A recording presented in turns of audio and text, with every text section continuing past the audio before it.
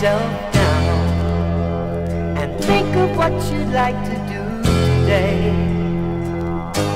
Then take a look around, and if the sky kind of looks a little gray, just take a hook on the dream. Once your cares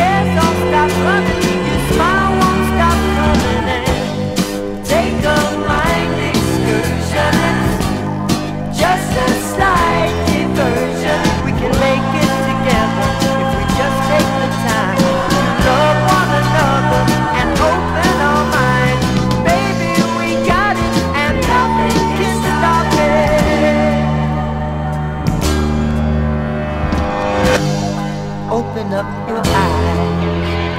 Excitement would like to be your friend. Just try 'em on for size. They lead you to the rainbow's end.